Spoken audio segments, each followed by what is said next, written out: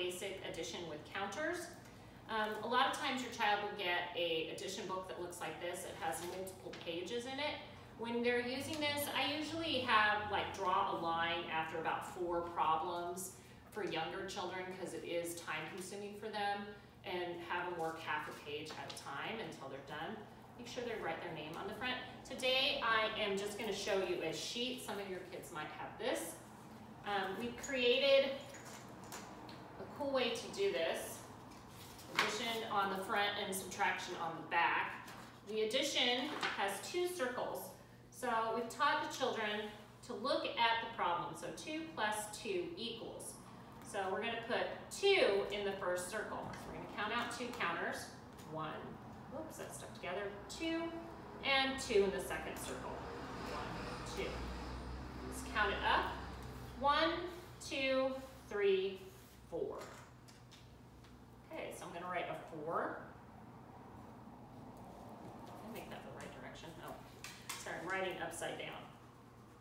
There we go. Okay, so now I'm going to do the next problem. It says 2 plus 4. So I'm going to put 2 in the first circle. And, oh, I need 4 in the second circle. So 1, 2, 3, 4. Count it up. 1, 2, 3, 4, 5, 6. 6. And we're going to do 2 plus 1. So 2, oh, I have too many, so 1. I'm going to put these 3 away. Count it up. 1, 2, 3. Here's our answer. 2 plus 3.